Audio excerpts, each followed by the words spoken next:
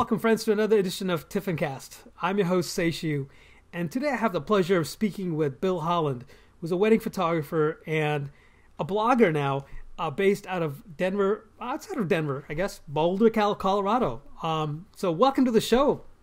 Uh, thank you, Seshu. I, I, uh, I completely yes effed up the, the, the place, your location. But hey, listen, I got the state right.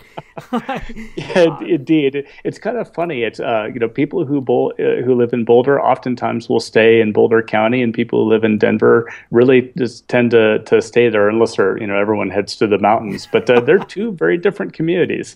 Now, you guys were out here on the East Coast. You were uh, based in Virginia, if I'm not mistaken, right?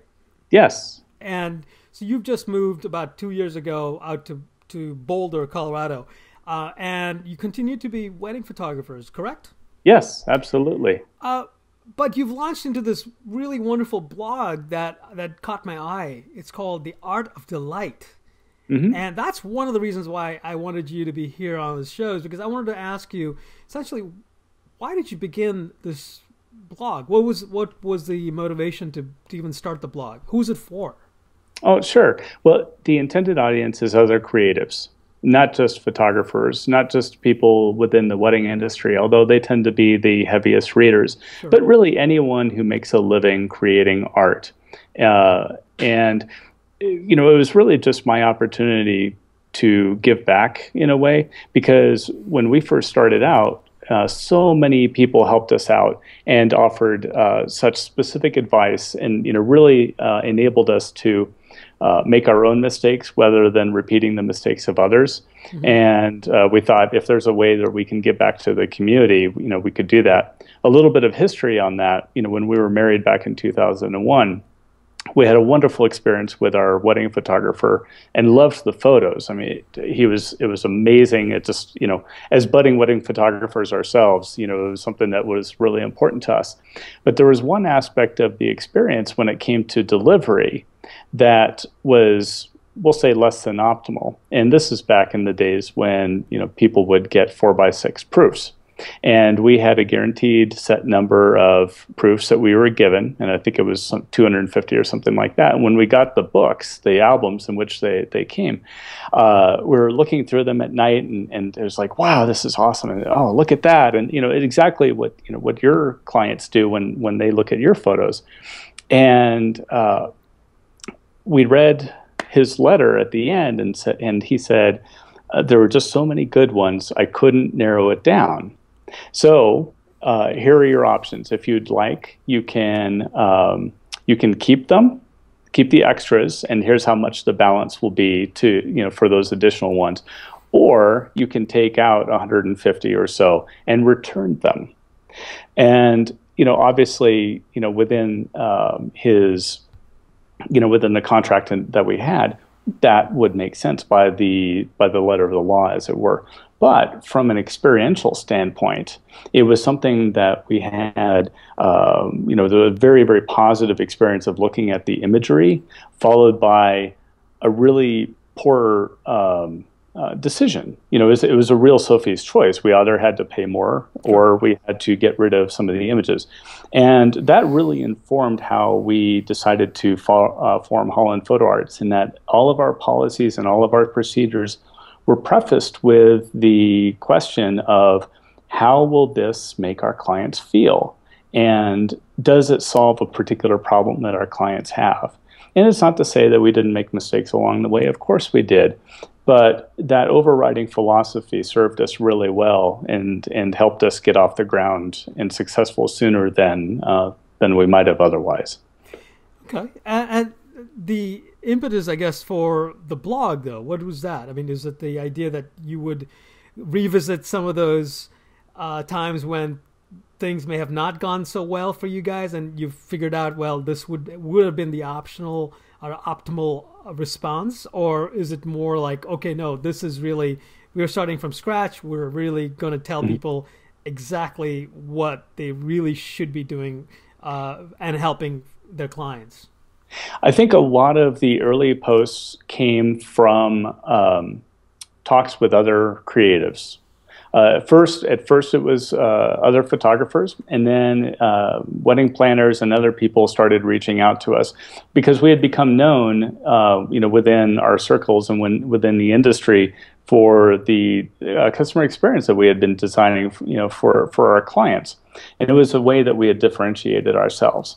Uh, so our friends would come back to us and say, "Hey, I've got this issue. You know, a, a, client's really unhappy. You know, here's what's going on. Do you have any advice for me?" Or, um, you know, do you, I just can't figure out how to word this email. It's like, you know, this is what I want to say, but I, I just don't know what to what to say there.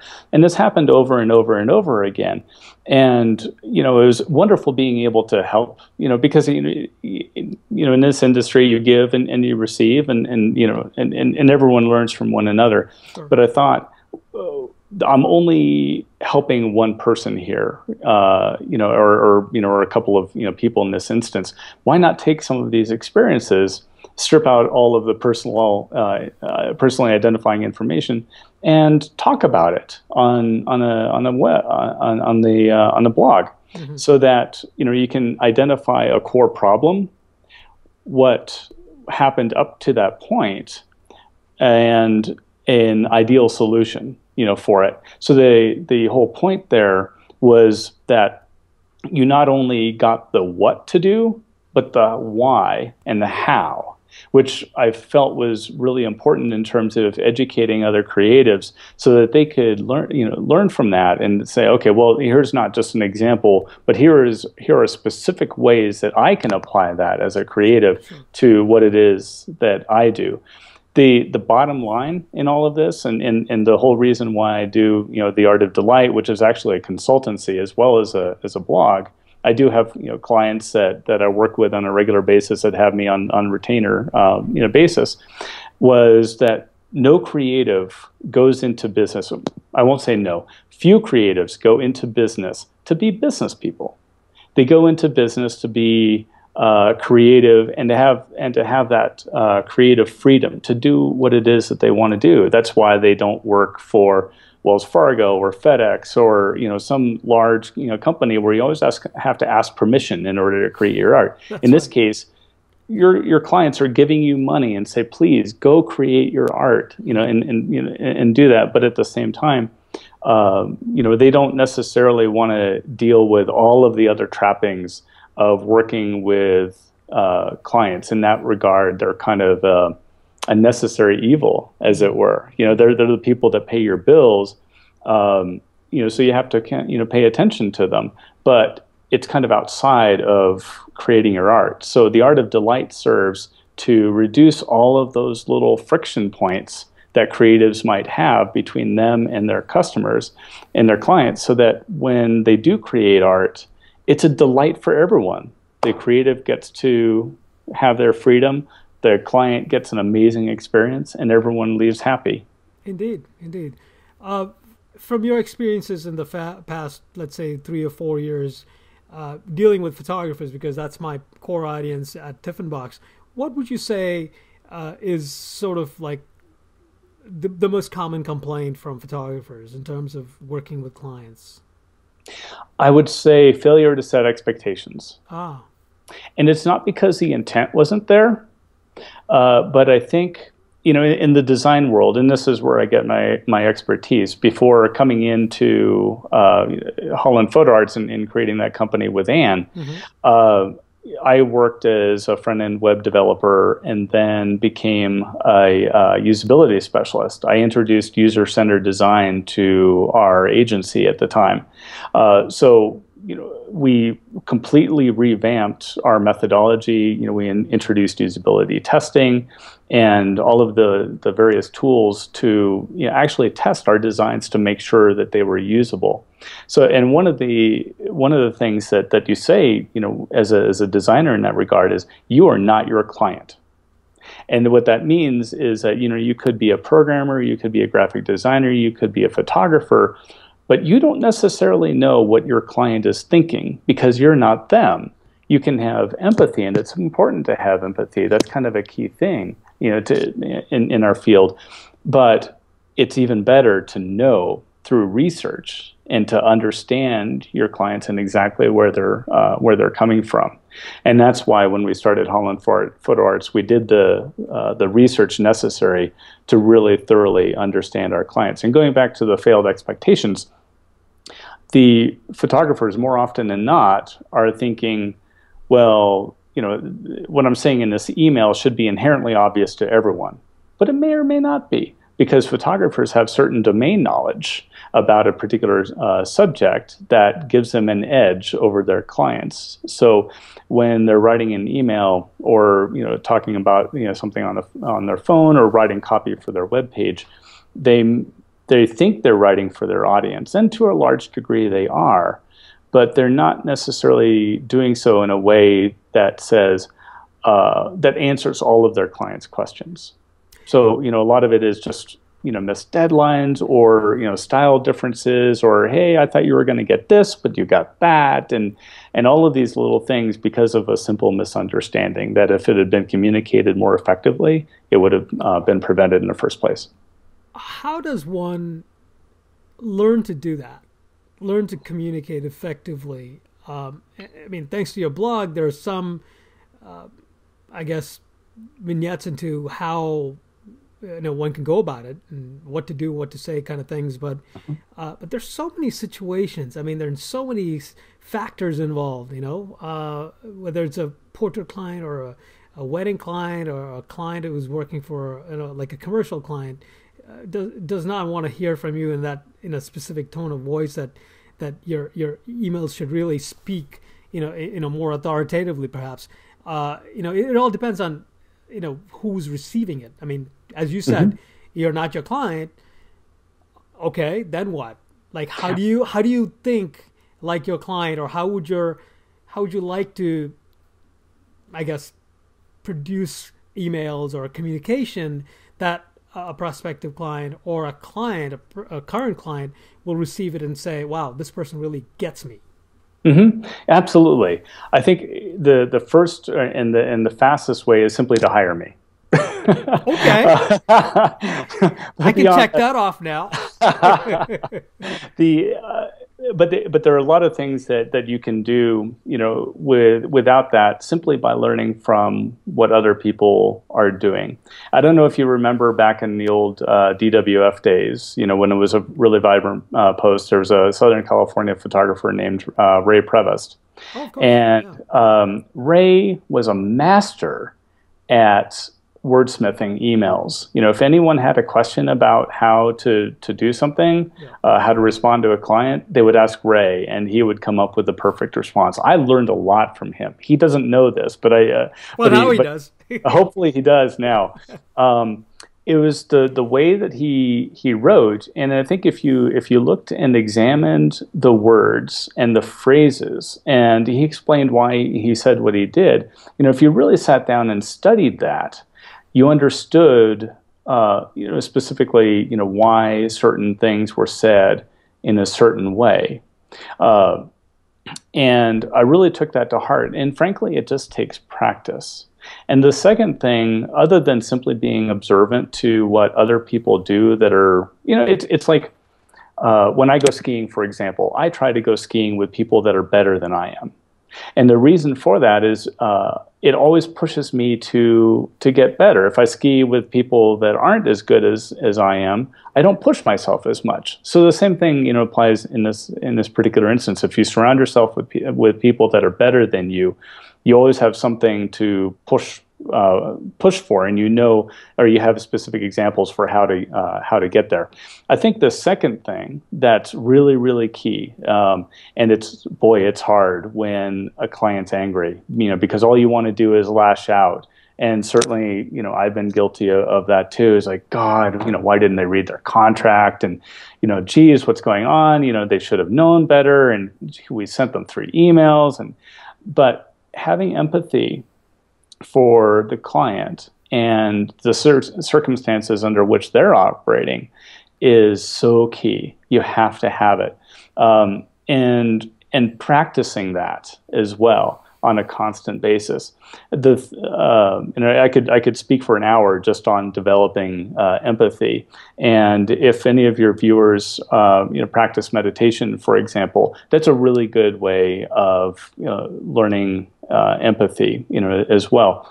But another way to, to do this, uh, the third component, is simply by being an observant consumer.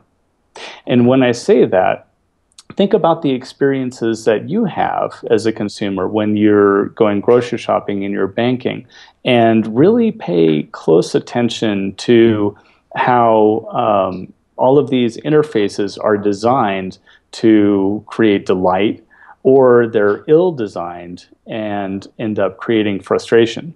Quick example uh, if you're a Wells Fargo customer, you could uh, go to their ATM. And if you're a fairly frequent ATM user, uh, you'll notice that when you put in your card, it knows that most of the time you're there to deposit a check.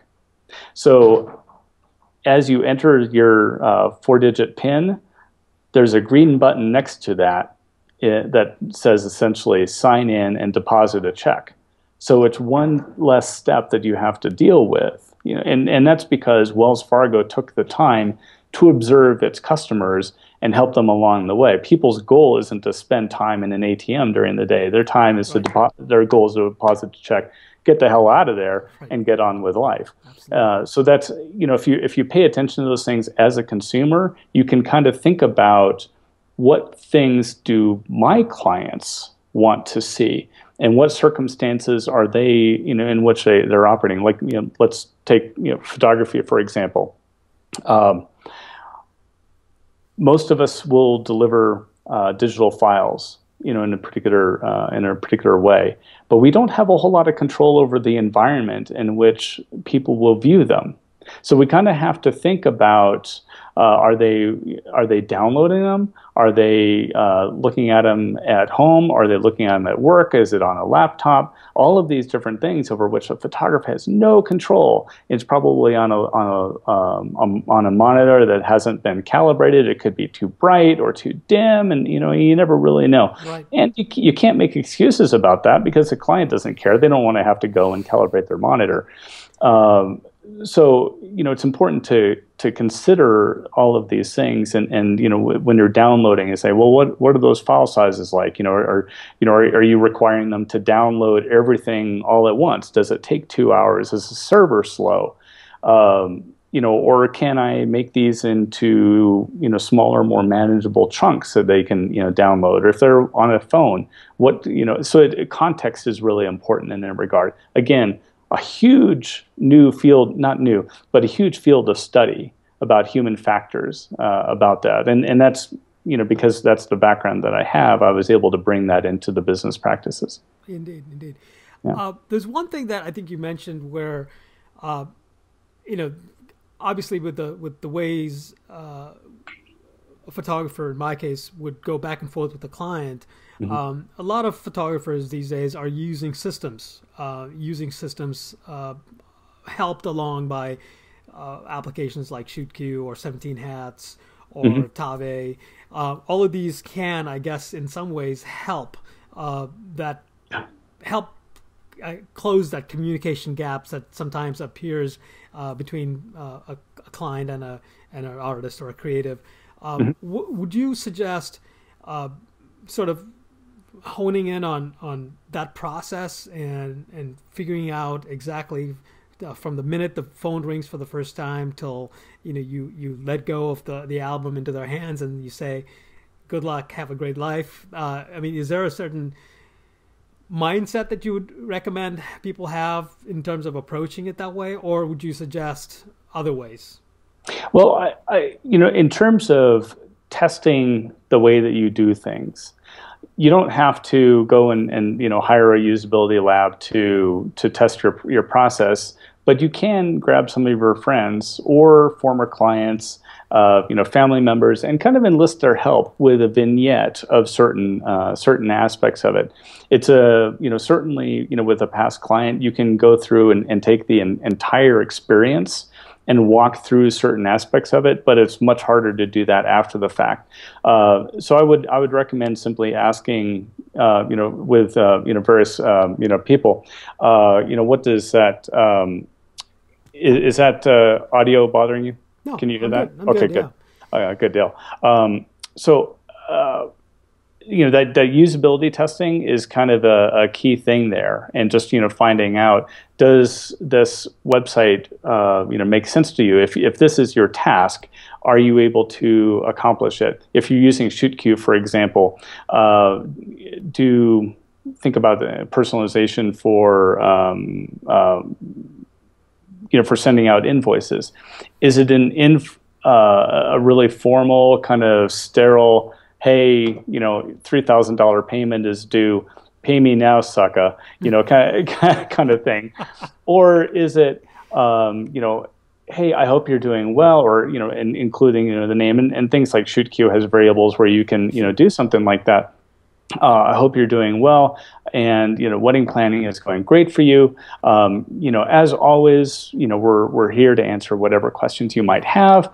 Um, you know, in, in the meantime, as you may remember, your you know final payment of three thousand dollars is coming due. Uh, here's an address uh, to which you can you know mail your check, or here's a, a link to um, you know make the payment uh, via your favorite plastic. Um, you know, and just in, injecting a little bit of humor and a little bit of personality into all of the little things that you do when you, uh, you know, when you're utilizing technology can make a big difference. You just kind of think about it on on on the client's end. You know, one one uh, great example, a fantastic example of what this might uh, look like, you know, uh, is you know you, you, can you can Google CD now.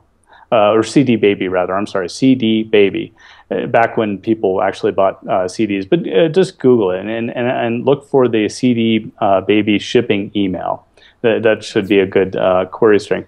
And it just read it. It's fun. You know, you don't even have to have ordered anything from it. But you know, if you you can look at that and say, if I received this email after buying something, that would make me feel good. Right. And that's the whole point of every touch point every interaction that your client has with you, it's important for them to feel good. Put take the opportunity to put a smile on, on their face, especially when you're asking for money. Uh, you know, um, but but be of service. You know, it, one of the things, and you, you may or may not know, in, in Boulder, it's it's kind of like a little miniature Silicon Valley in, in, in one regard. Is you know we've got a lot of startups here, mm-hmm. and one of the basic tenets in the community is give before you get. So you don't have a ton of people around here asking for this, that, and the other thing. Obviously, you do, but people's first inclination is to say, "How can I help you?" And if you can, if you can instill that in the way that you operate and, and, and the way that you do business, your first instinct is to be of service to your client and find out how you can help them. And they'll they'll tell you. Uh, and you know take that and just in the and and run with it. And if it's a little bit above and beyond what you you know might have uh, otherwise included or something like that, but it's not a, you know a huge deal. It's not you know you're not spending thousands of dollars to, to you know, that could be worth it you know just just to take the time and make them you know happy the same thing with vendor images you know for example there's a lot of back and forth among photographer communities of um, you know, should you give uh, you know photos for free to other wedding pros associated with a wedding? Well, here's, but at the same time, you know, and you know, some photographers will say, "Oh no, no, you know, they they you know they have to pay you know fifty bucks or hundred dollars or you know whatever. It doesn't really matter, ninety nine cents for it, but." Uh, and and, the, and they're they're failing to think about what that looks like on the on the tail end. Is that that baker who's a fantastic uh, cake maker and, and, decorator relies on the photographer to make their art to make the photo- make the baker look good. Um, but at the same time, if the baker were to bring in their own photographer, the hired pro would be like, "What are you doing? You're, you're not allowed to be here." So which is it? You know. So it just think about what uh, what these ex- experiences are like from other people and you know, first and foremost, try to be of service. Try to identify what problem and solve it if you can. And if you can't, um, maybe there's a resource that you can point them to who can. Excellent. Well, that's a great way to sort of wrap things up. I want to thank you, Bill, well, for coming on. And I mean, I could go on and ask you more questions, but uh, I want people to go hit the site. It's called the Art of Delight. Uh, dot com, theartofdelight.com, mm-hmm. and check out the blog posts. I mean, really skim back all the way to the very beginning, and I think you'll really, really enjoy the way Bill writes. Um, and uh, the information is not just uh, not just timely, but it's useful. You know, you're gonna put it to use. You're gonna look at it and you go, "Wow, how can how can I blend this into my business?"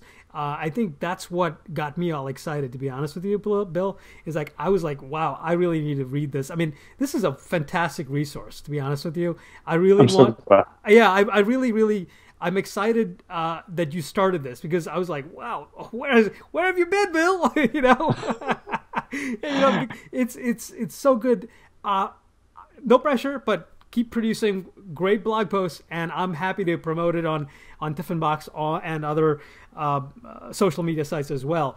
Um, but if you have, if my audience has any questions, direct questions uh, to you, would that be okay mm-hmm. for them to approach you directly? Of course. Okay. Yeah, by by all means. They, you know, my contact information is is on the blog.